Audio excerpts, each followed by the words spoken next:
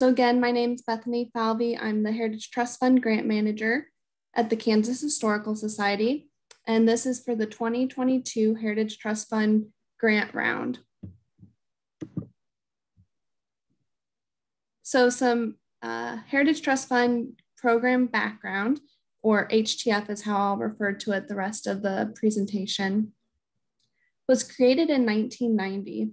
And to date, we've uh, awarded over 27 million in awards over the past 31 years.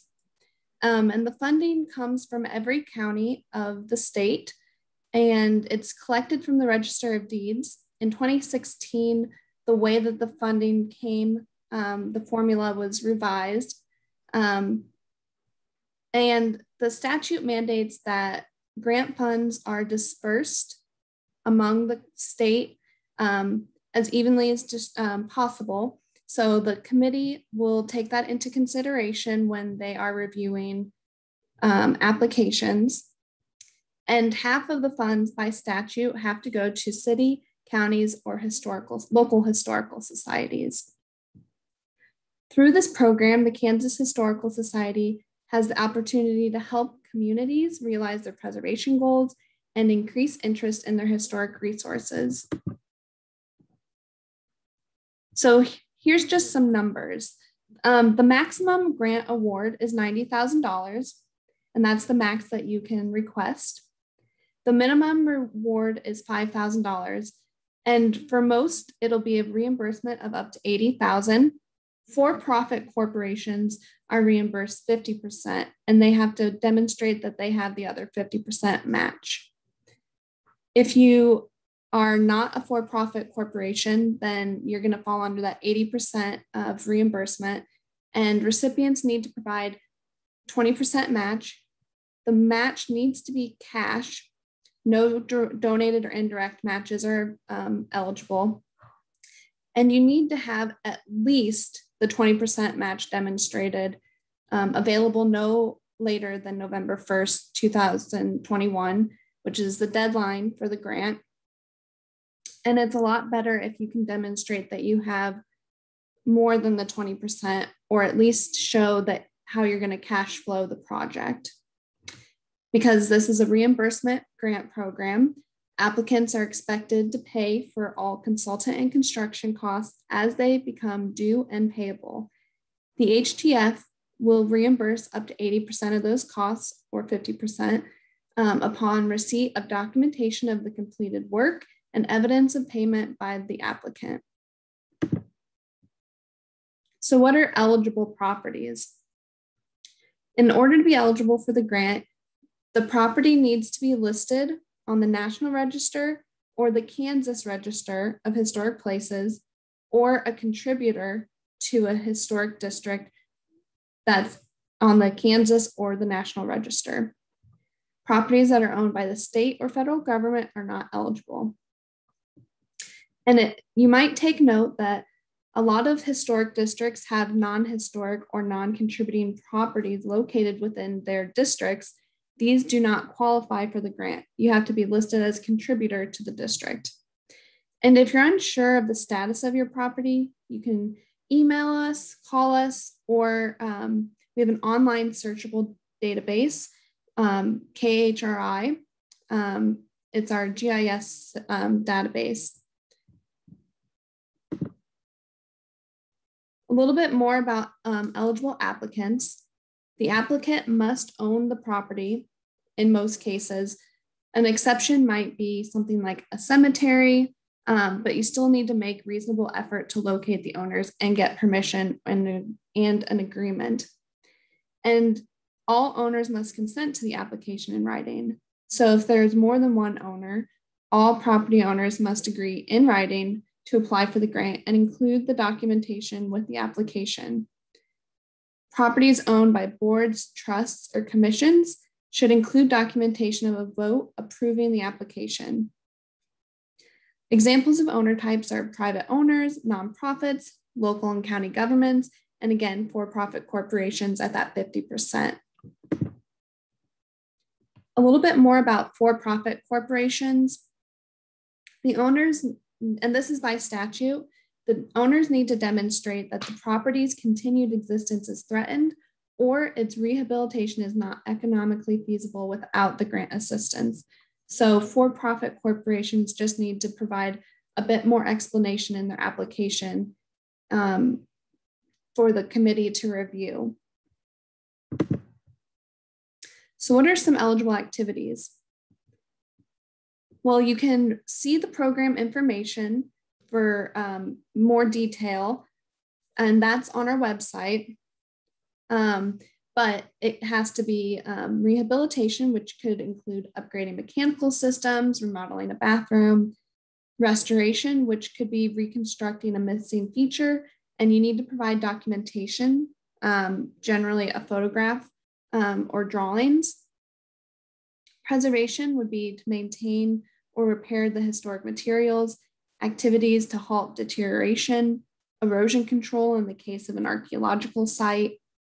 Um, and then there are some non-construction activities such as historic structures reports, maintenance plans, and construction plans. And those are used to um, help with planning documents if you know that you need to do work on the building, but you're not sure where to start. One of those might be a good option. All work needs to conform with the Secretary of Interior standards for treatments of historic properties. I've linked it here, um, but there's more information on our website, or if you go to National Park Service, and TPS is the Technical Preservation Services and Standards. While all these activities are eligible, some projects are more successful than others. In general, proposals that repair or preserve the exterior envelope of a building compete better than projects to simply update an already stable and sound building. So if you have a roof falling in, but your grant request is for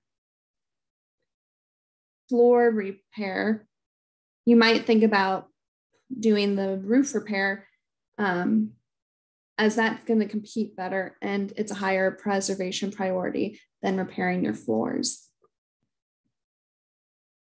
And no work um, can begin until, if the grant is awarded, until after awards are announced, the grant administrator has attended an orientation session, the owner has signed a grant agreement, and competitive bidding has taken place.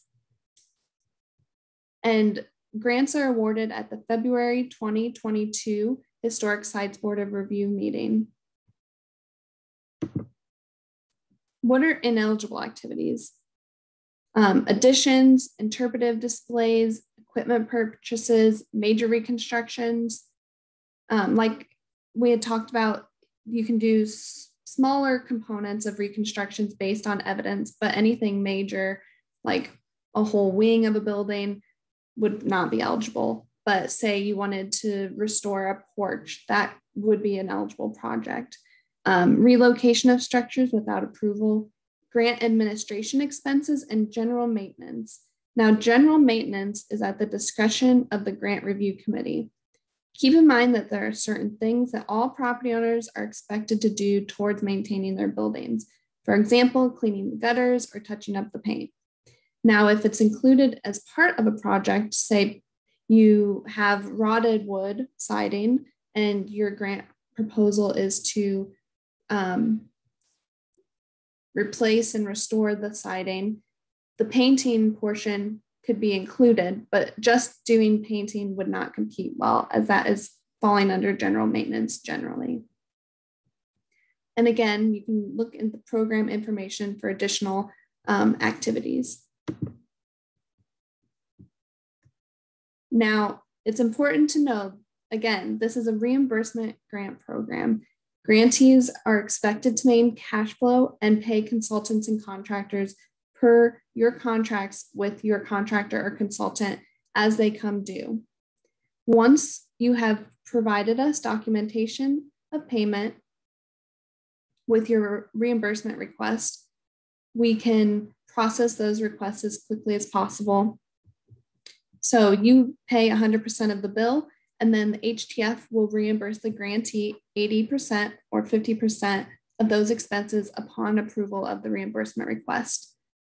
A reimbursement request needs to include photos of the completed work, a bill or invoice of the work, proof of payment, and then a request form we have.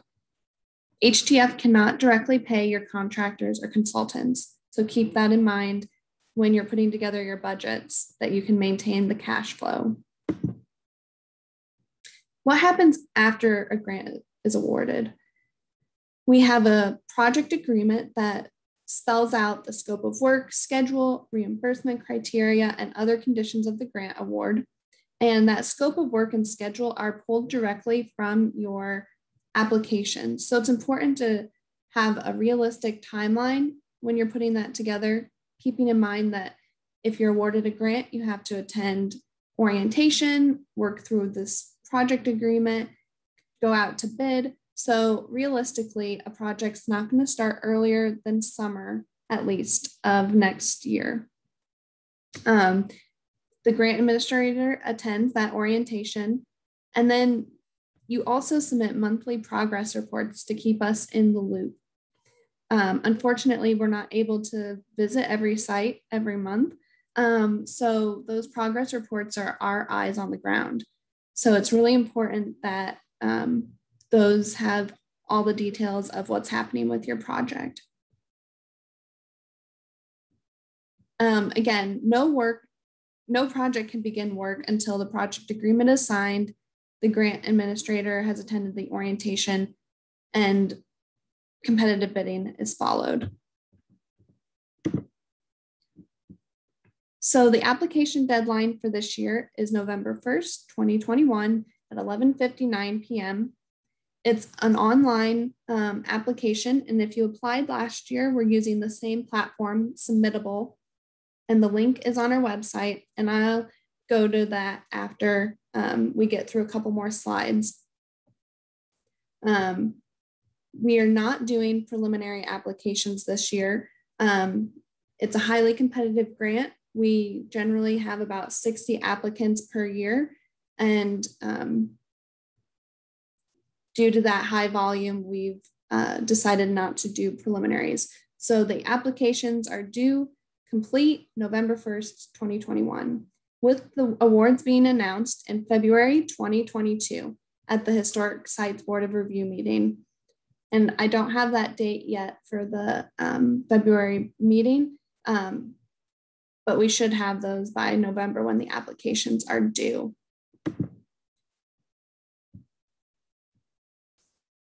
Um, so here's the link, but I'll also show you in a minute um, where to find it on our website. They're due by 11.59 p.m. Actually, Submittable won't allow you to submit after that. Um, it kind of automatically shuts off at 11.59. And in order to do that, you need to create a Submittable login account and then select apply to begin the application. Now you can invite collaborators to the application form, so say um, you're you have a board and you have a couple people working on it, um, you can have those collaborators and you can save your draft and continue work later. Lauren, I'm gonna share my screen and um, show how to find the application. So if you go to kshs.org and then hover over the Preserve tab, you go to Grants,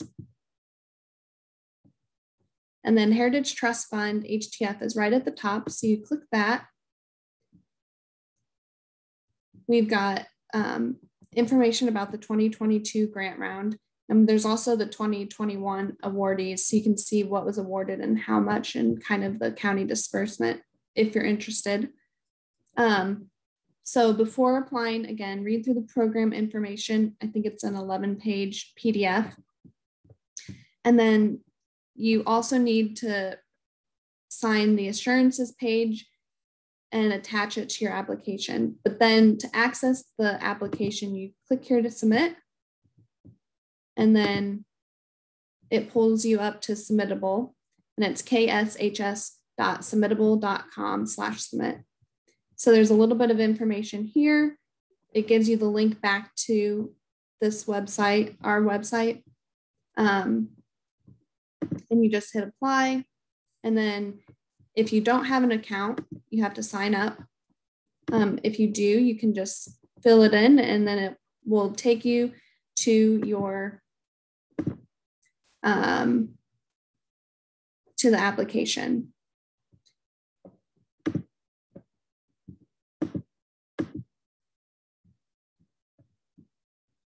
Lauren, you can go back to the website or to the uh, presentation. So we're going to go kind of step by step through the application um, and give you some tips and hints uh, to uh, completing a successful application.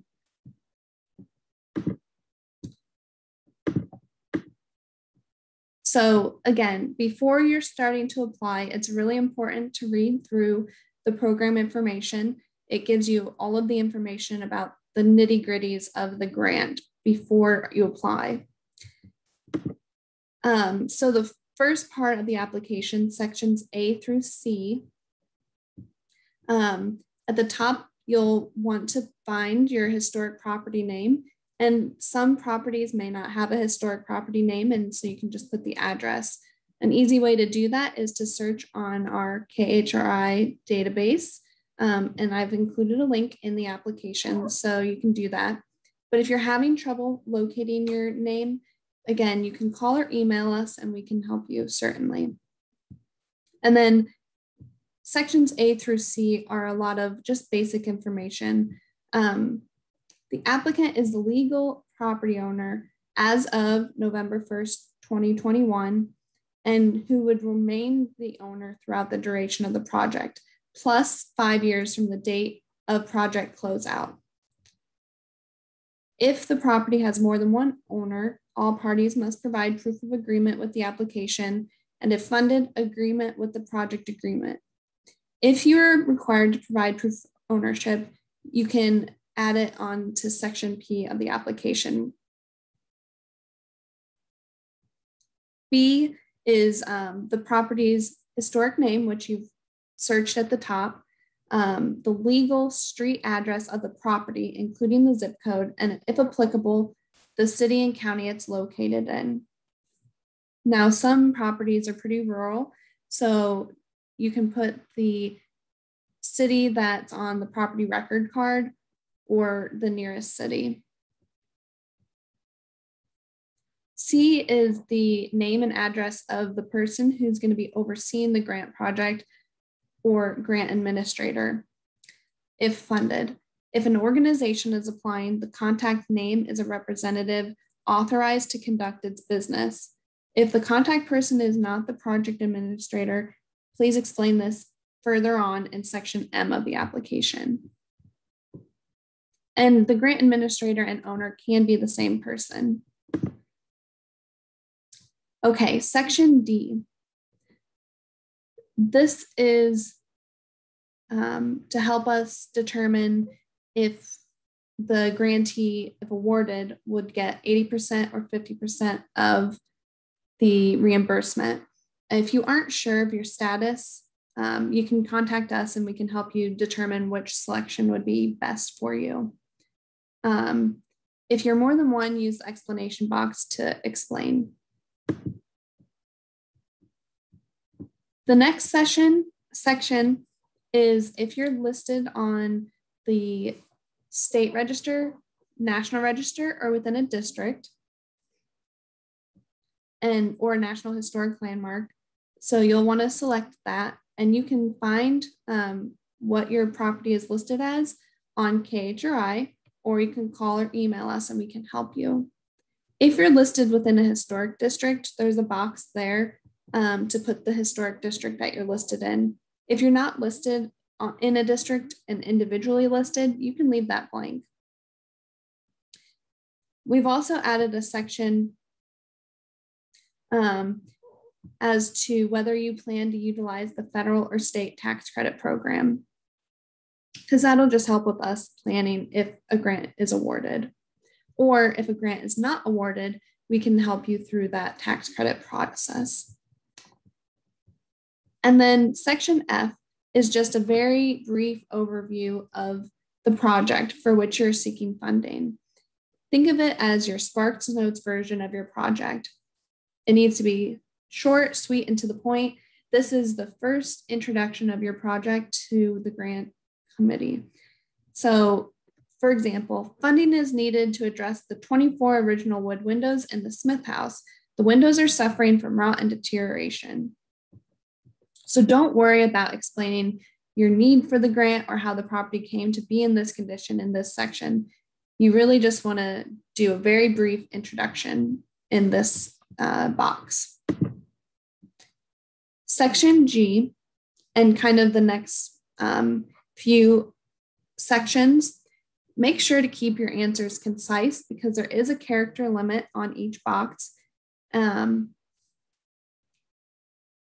so you'll need to be as concise as possible. We um, all the properties are listed on the National or State Register. So um, especially with this one, the historical significance of the property, try to think outside the box about why it's significant because all of the properties are significant and listed on the state or national register. So what makes your project or your property unique?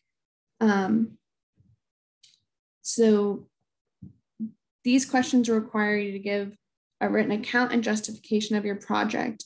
Make sure your answers are clear and concise so that anyone unfamiliar with the project can understand its objectives. Don't assume that the Heritage Trust Fund Committee understands the importance of your project. You need to convince them that you have planned and will be able to implement a successful project. Uh, section H talks about community benefit and support. Part of the state statute requires applicants to deter- demonstrate the potential benefit to the community and the state, as well as community support for the project. Um, be sure to summarize how much support you have from the community in this section, but you need to back it up with letters of support from community members. And you can submit five to 10 um, support letters, uh, and this will be in section O at the end of the application. So you need to um, explain how it's going to benefit your community or state, and then the community support and demonstrate that again by su submitting those um, letters. Section I talks about the condition of the property and the urgency of the work. So the state statute that created this grant requires that the grant committee consider the condition of the property, the urgency of the preservation work proposed as part of the criteria for selecting awardees. Often this urgency piece is the most critical to the grant committee. If the need isn't urgent, then why would they recommend funding it now? So briefly describe how the property came to be in its current condition. Maybe you purchased it and it was already in a very deteriorated state. So you'd want to explain that. What are the causes of the current problem? Maybe there was a fire. So you can explain that in your application. Have you been the property owner and have you maintained it in the past? Why is it urgent that they fund this project now? Um, and you can, and like I was saying, uh, properties that or projects that involve the exterior envelope tend to compete better because they protect the building as a whole. And I said there was usually around 60 applications a year. We're only able to fund about a quarter of those each year. And so the committee has really tough decisions to make. And so they try to pick the most urgent and critical projects that, if they are not funded, could impact the building in the future.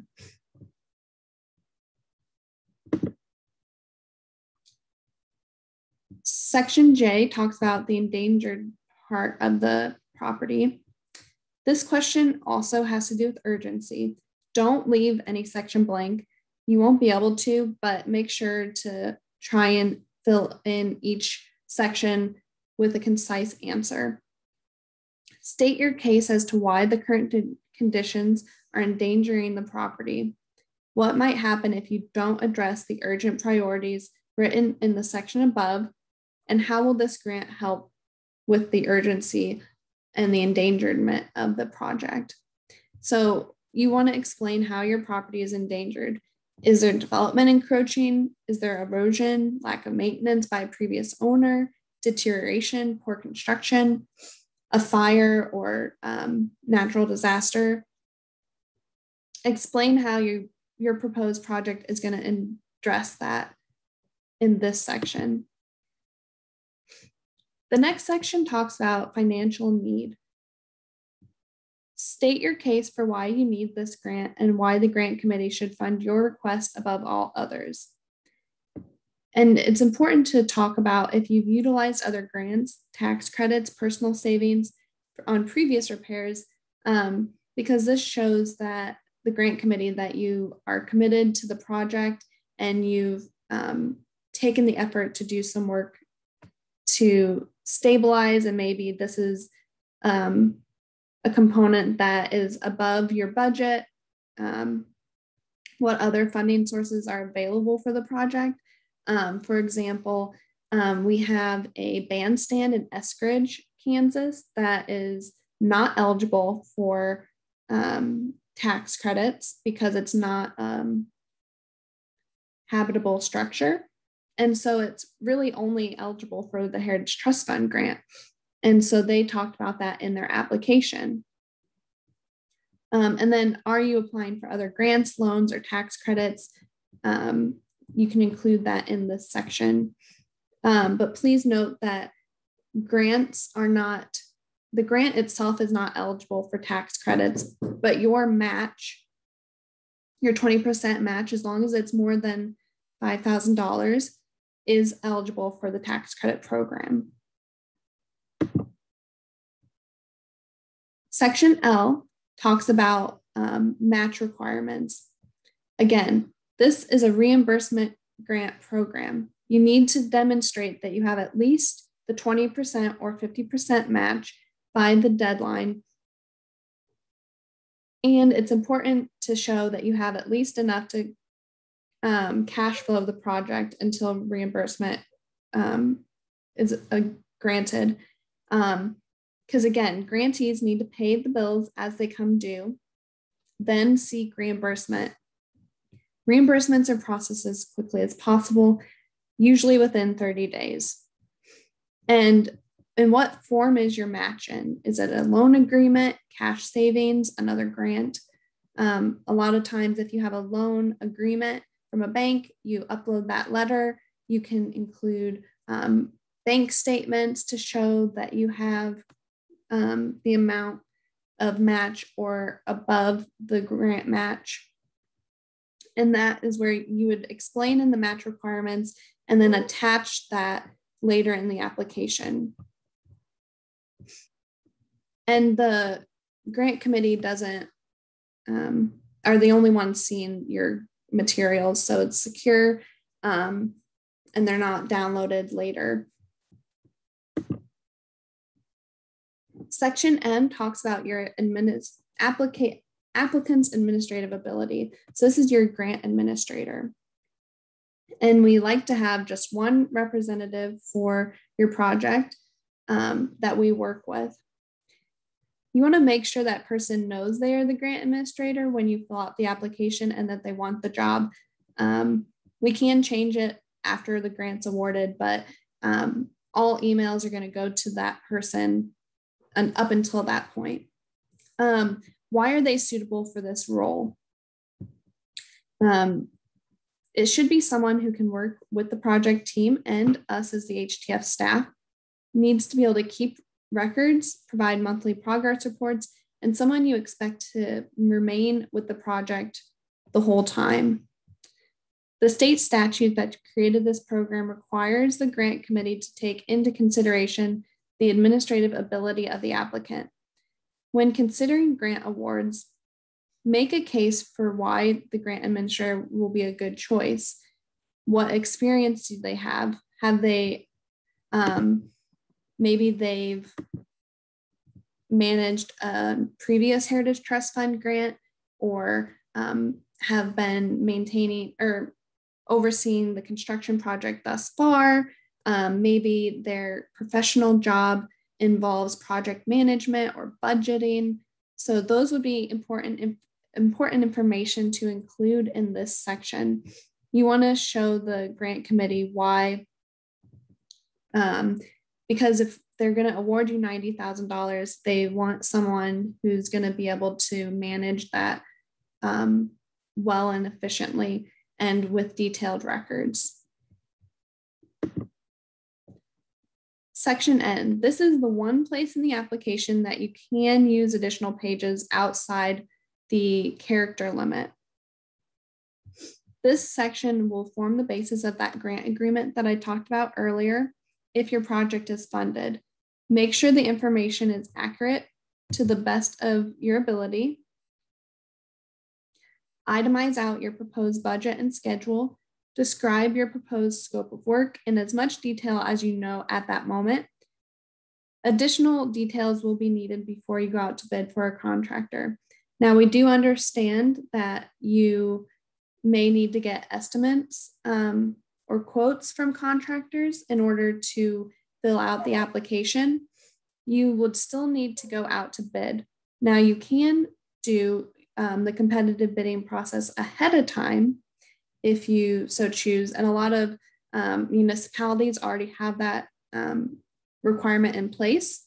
So as long as it's documented, and you'll want to talk to um, me if you want to do competitive bidding ahead of time, just to make sure that you have all the requirements that the grant would have. Um, the grant review committee needs to know in this section what you're doing how you're going to do it, when you plan to do it, and how much you think it's going to cost. So items need to be distinct portions of physical work that can be completed and then submitted for reimbursement. The schedule and draft budget as a basis, we use this as a basis for the project agreement. If it's funded, reimbursements from the grant award will be given on a base on 100% completion of each line item so we can't um, reimburse for partial work or um, mobilization costs, demolition.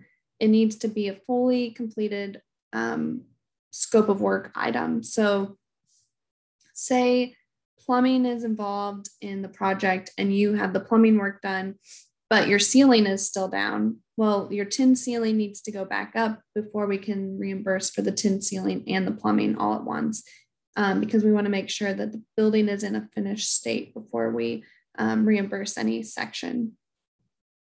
So consider the breakdown of your budget carefully.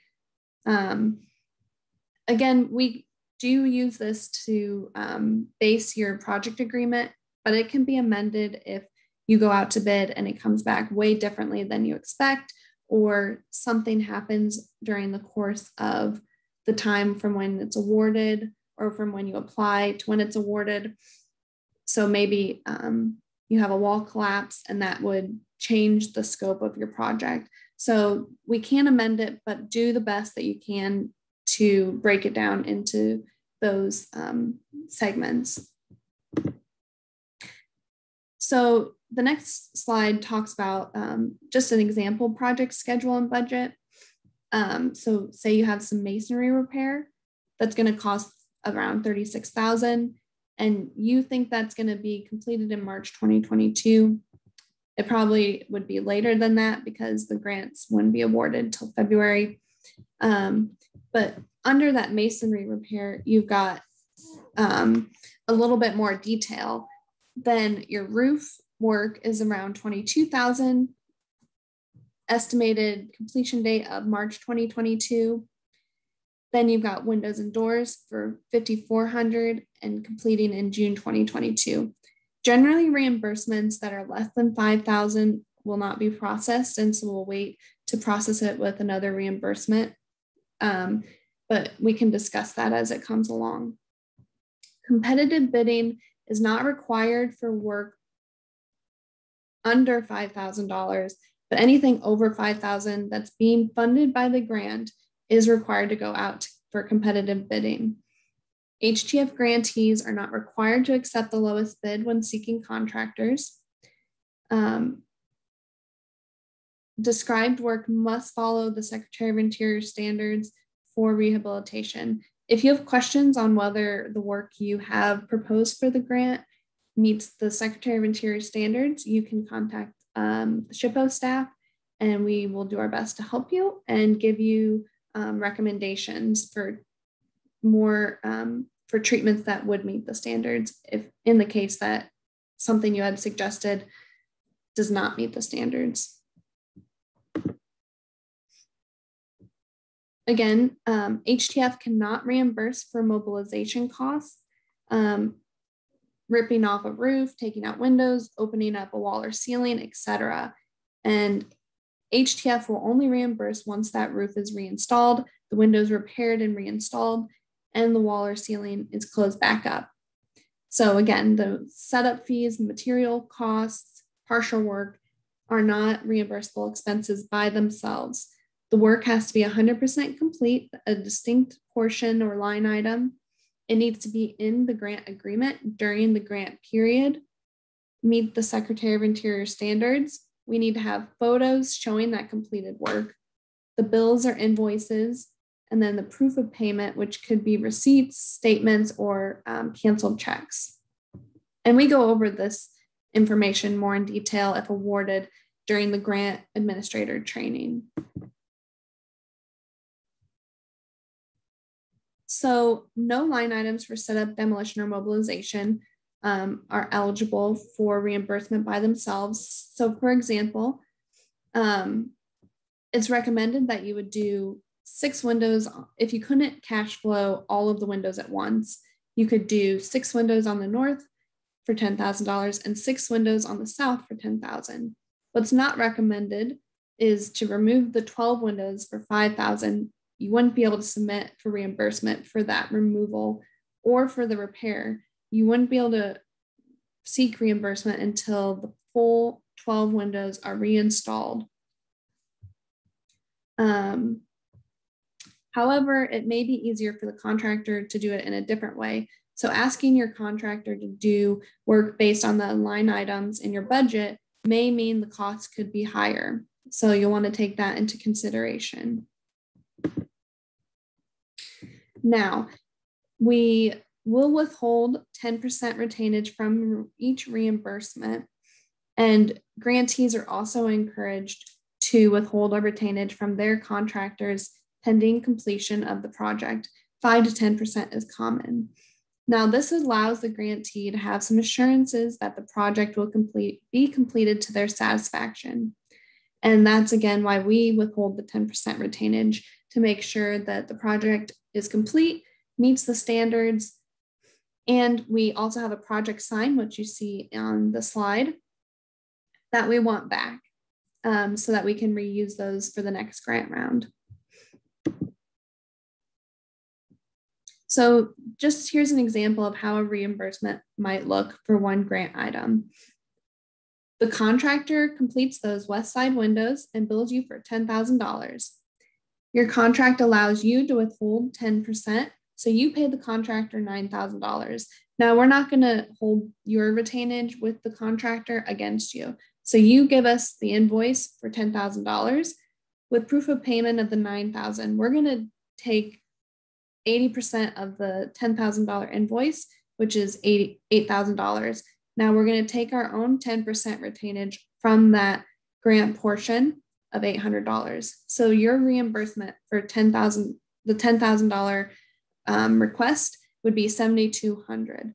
So you need to also keep that in mind for cash flow that if you're submitting for a $10,000 reimbursement, you're not getting back $8,000. You're getting back your bill times the 80% um, minus retainage. So it's going to be less than you expect that you're getting back. Because we use this grant as um, federal match, we that support other programs administered by the State Historic Preservation Office. This program has to follow the same procurements as federal funding, which includes seeking competitive bids for any work or product over $5,000.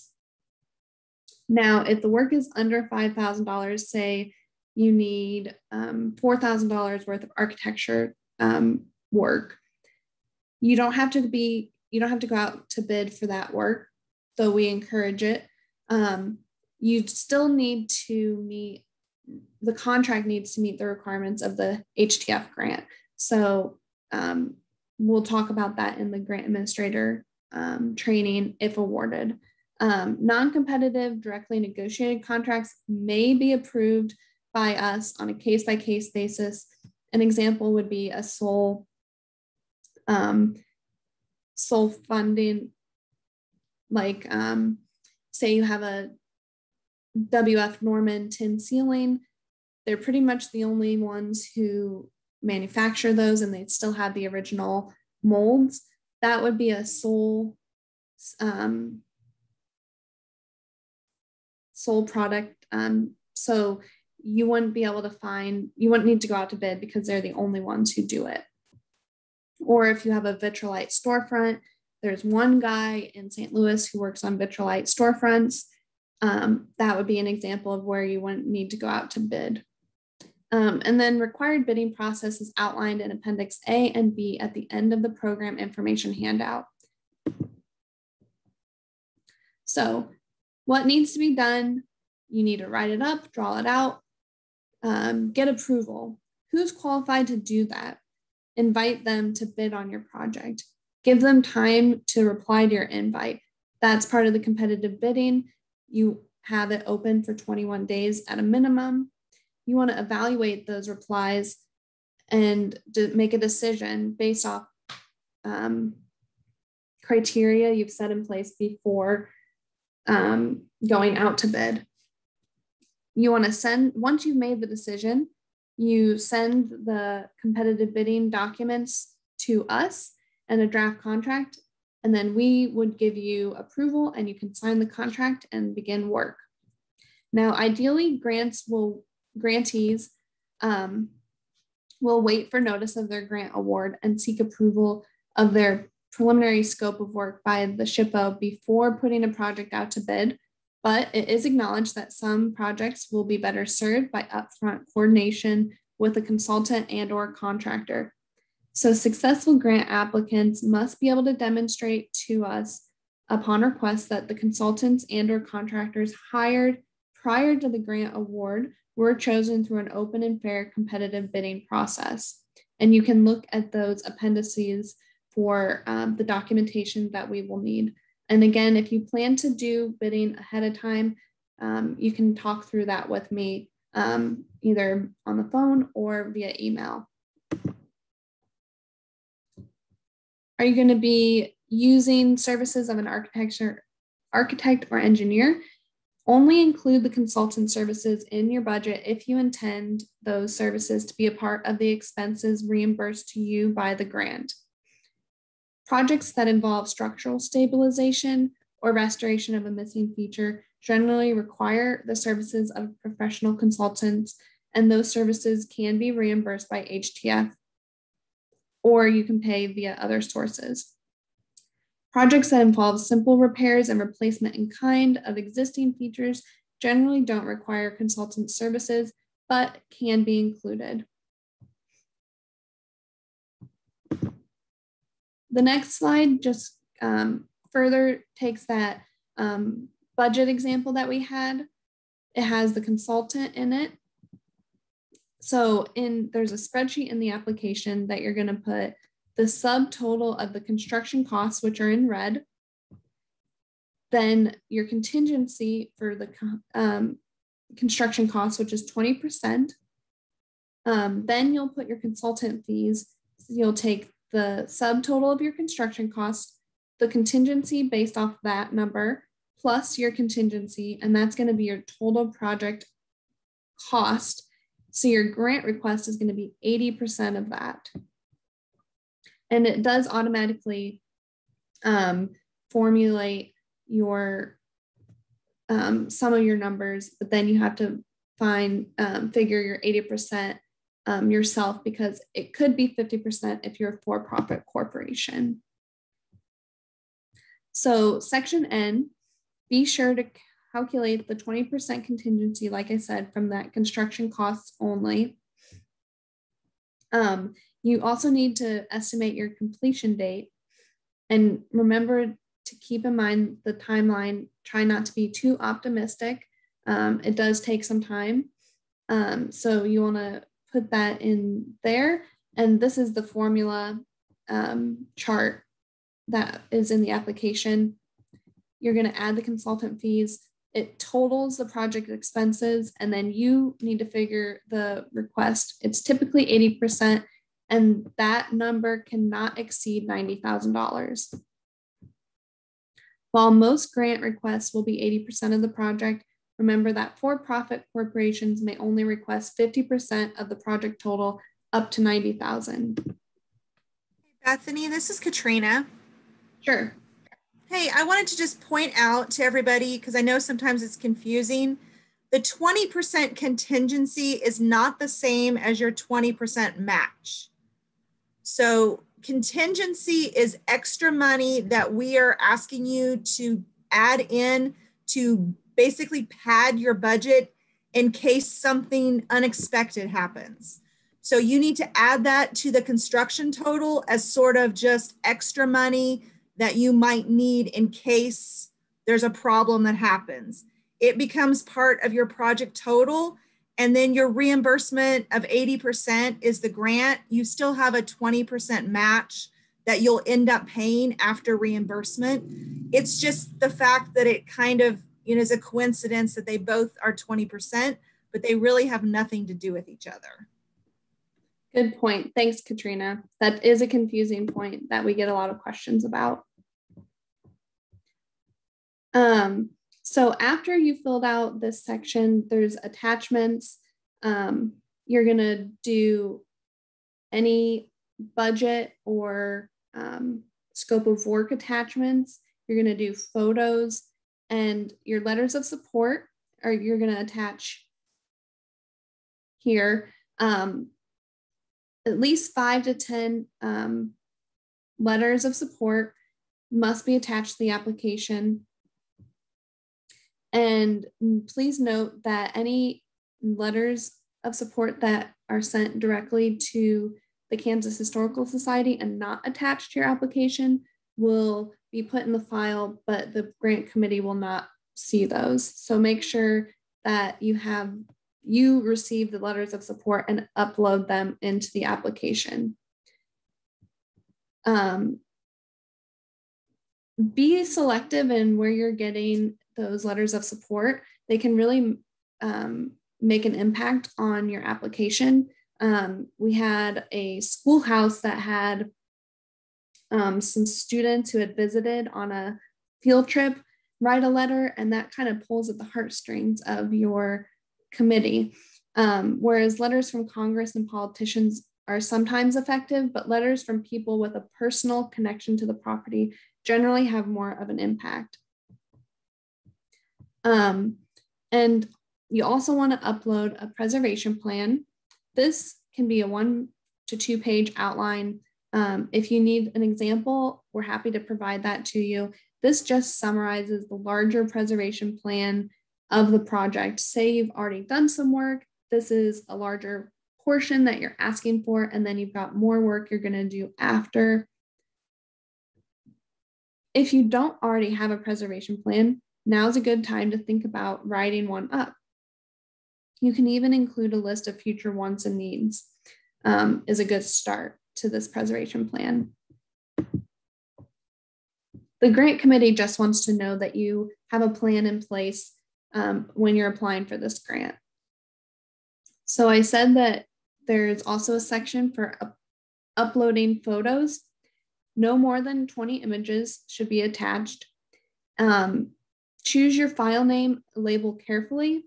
Um, you can make it, um, say you have a historic photo, you can say 1903 historic photo. Um, you could say southwest facade, window detail, um, to give the grant committee an idea of what they're looking at. Or maybe number the images so that they are presented in the order that you prefer. Also be aware of the quality of your photos. Sometimes um, if you're trying to get a close up from afar of a window, your phone's not going to take the best picture. So you may have to get out your old fashioned camera, digital camera, and take those photos um, with a higher quality camera. So acceptable photo attachments, um, it can be done in a Word document, a PDF. You can do individual JPEGs, TIFF documents. Um, if you have historic photos, um, especially in the case of reconstructing, that should be um, uh, included. Photos need to be color unless they're historic, and they must show the architectural features clearly. The applicant is the sole responsible is solely responsible for the clarity of the photos and photocopies. Um, awarded grantees will be asked to provide JPEG formatted photos in the case that you submit them as a document or PDF. So it's important um, to make your first photo the pretty overall shot. We call it the three corner shot. Photos taken from a corner of a property allow the viewer to see not only the front facade, but also one side and a little bit of the environment surrounding it, just to give the grant committee a better idea and feel for your project. Um, these photos um, will show the areas of deterioration or where work is required. So close-ups of the damage and deterioration are important, but don't just submit too close-up of a photo without context, like a picture of water damage close-up isn't going to be as effective as a you know a further wide shot showing buckets holding water um, you can get creative with your pictures. You want to paint the picture to the grant committee that you need the money to do this project and why. You can also add arrows or circle items as needed to point out the work items that need done um, and be able be sure to label each photo and the work items shown. You can use pencils, rulers, straight edges, or other props to damage to illustrate damage like rotted wood or soft plaster. Photos of buckets, like I said, to catch water from leaking roofs, carpenter's levels to show uneven floors might be needed to better illustrate the problem. You need to call out the problems in the note or file name. So photography has gotten pretty um, pretty good and now and you can be creative. You can use lifts, drones, or other means to show damage and deterioration that may be otherwise hard to reach. Um, here's an example of a drone footage that shows the three corner shot with context, and they were trying to show roof. Roofs are really hard to show because you either need to be on top of them from another building or um, accessing the roof, and some roofs may not be stable to stand on. So again, be creative when you're putting photo documentation on your application. Now you want to provide adequate information, but try not to include too much information um, so that the reviewers can't see the detail or read the text. Um, grant reviewers are going to be looking at upwards of 60 applications, so piling multiple images onto one page may cause more confusion than clarity. The grant reviewers use the photos to familiarize themselves with the project. If they can't see what is in need of repair, how are they going to know that you need the HTF monies? Again, be careful not to show details too close up. You want to show perspective and in relation to other objects and features. Now, I, the final um, attachment at the end of the application is the assurances. The um, don't forget to read, sign, and attach the assurances page, and it's found at the website with the link um, to the application. Please note, especially number five, that grantee part of what you're signing in the assurances um, is grantees are expected to pay all project costs and then seek reimbursement for a portion of them. And then number six is also important. The HTF grant agreement will require owners to maintain the ownership of the property for five years following completion of the grant. Also, owners must maintain the grant funded work during that five year period. Um, if you're doing other work after the grant closes out, but is within your five years, um, we do review any work done to the property during that five year period. Um, it can be in the form of a tax credit application if it's an eligible project, or um, you can just let us know and we will review the work. And um, if you sell the property within the five years, it's um, you have to pay back the grant monies that you were reimbursed, and it's done in a prorated fashion. Um, so if you sell in the first year, you have to sell or you have to return 100% of the grant funds. If it's in the last five, in the fifth year, you pay back 20%. So this is kind of a long-term investment that the grant committee is looking for. So here's some further thoughts. The Historic Preservation Office, we're here to help, whether you receive a grant or not. Every building tells a story. You're competing with many others who have equally important projects. Tell your story. Convince the reviewers why yours is the best. Have you convinced the reviewers? Have you had someone else read your application to make sure it makes sense? We are happy to provide you technical assistance um, regardless of whether your property receives a grant or not. Um, best wishes and good luck on the application. Again, my name is Bethany Falvey, and I'm the HTF grant manager, and I'm happy to answer any questions. But here's my contact information um, if you think of something after the presentation. You can type them in the chat or um, raise your hand and we can unmute you, or you might be able to unmute yourself. Does anyone have any questions?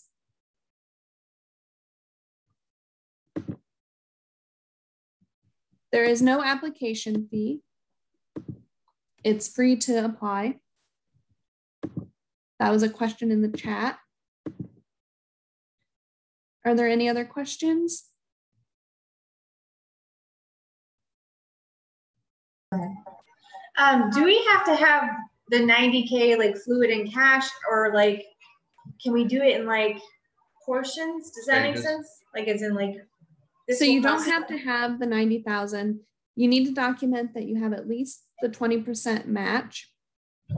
So if you're asking for 90,000, your project total is going to be 120,000. So you need 20% of that total.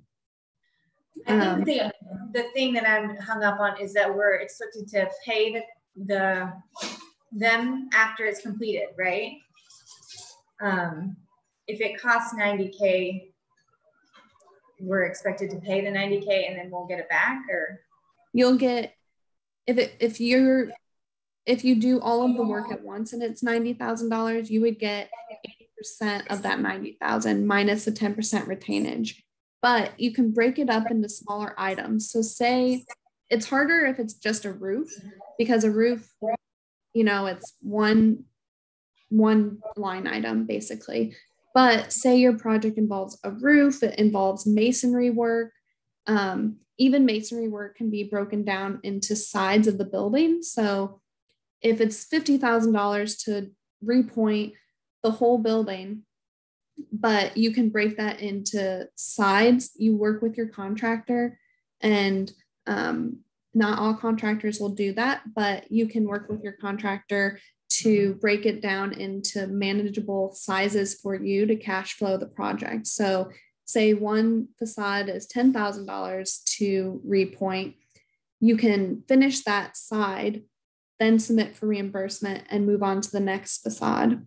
So then you have you're not going to get the full 10,000 back. You'll get the 80% minus the 10% retainage. So that's the 7,200 that you would get back. So that's important when you're trying to figure out the cash flow of your project. Yeah, and then um, my only other question is the time limit. So we can do that in stages. Got that. Um, how long can we do that? The grant um, we try to get grants to compete, uh, complete within two years of being awarded. Um, And that's just, we have pressure from the legislators to get projects completed because the funding is allocated. And every year that a project doesn't finish, we have to encumber those funds. So it's important to show the grant committee that you have the cash in hand, you're ready to move forward, and you can complete that project. Um, yes, the access, um, there's a question, will we be able to access the recording of today's presentation? I'll upload that to the website um, where the application is found. Um, when is the retainage amount released? Um, once the project is completed 100%, you've done a completion report and returned the sign is when the retainage is returned. Now that can be done all at once with your last reimbursement request or it can be after. Um, can you review previous applications? We can um, provide you with example applications. Um, you can just email us. Um, Katrina listed the consultants and contractors um, on our website. Those, um, we don't have a recommended list, but these are um, consultants and contractors who have done work on historic properties in the past. What other questions do we have? And again, if you think of some after, um, you can email us or call us. Um, and you can also rewatch the app, um, this presentation. Um, and again, the deadline's not till November 1st, so you've got plenty of time. The application is live. Um, you can be working on your draft um, and we, there have been, so don't wait till the deadline to submit because sometimes there could be some technical issues. Um, it is an online computer um, program. We didn't have too many issues last year, but you know, it's always good to plan ahead um, to account for any issues you may have. If there are no further questions, um, thank you for attending. And if you have questions, you can reach out to us. Bethany, this is Katrina. Yep. Um, I just had one recommendation from folks that I remember last year. Um, lots of people said this was helpful.